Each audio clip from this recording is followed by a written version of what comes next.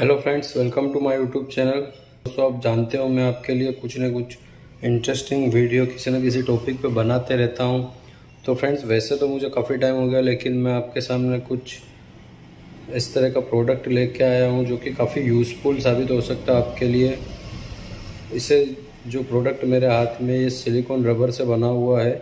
इसे silicone rubber bumper भी कहते हैं, जो कि इजीली ऑनलाइन अवेलेबल है। सभी साइट्स पे आपको इजीली मिल सकते हैं।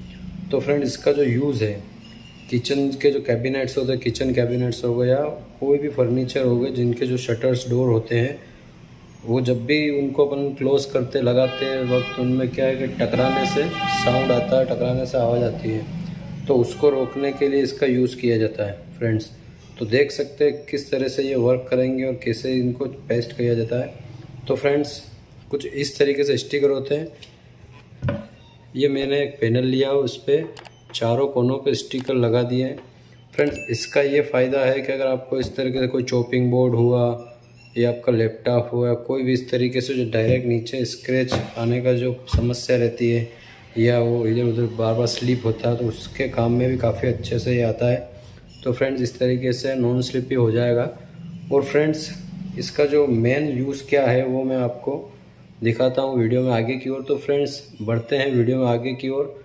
मैं आपको सीधे लग चलता हूँ किचन में कैबिनेट्स की ओर।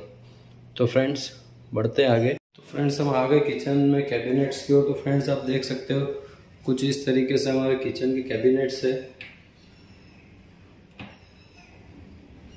वो ये कुछ इस तरीके से जाने के बाद ये इस तरह का साउंड क्रिएट करते हैं, जो कि हम इसको लगाने के बाद साउंड चेक करेंगे इसमें साउंड आता है या नहीं?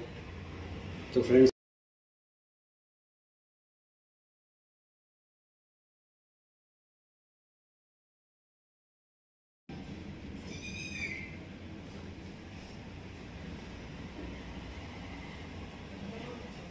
तो फ्रेंड्स कुछ इस तरीके से हम इसको, सिलिकॉन रबर बम्पर को यहाँ पे पेस्ट करते हैं।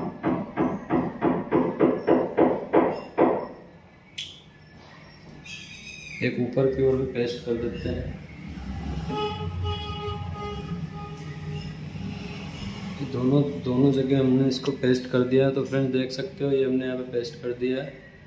और एक ऊपर की ओर। अब फ्रेंड्स इसको लगाते हैं। तो फ्रेंड्स से देख सकते हैं, दरवाज़ा भी डोरे में लग रहा है। ये स्मूथली पता भी नहीं चला, इसमें कोई भी साउंड नहीं आया, कोई भी आवाज़ नहीं की, इस दरवाजे ने बिल्कुल इजीली जाके बम्पर टच हो गया।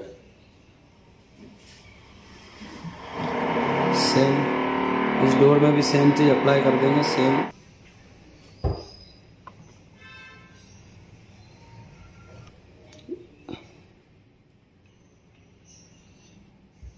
ये।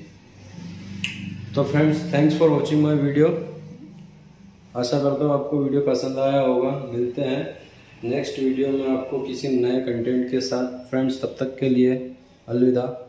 Thanks for watching my video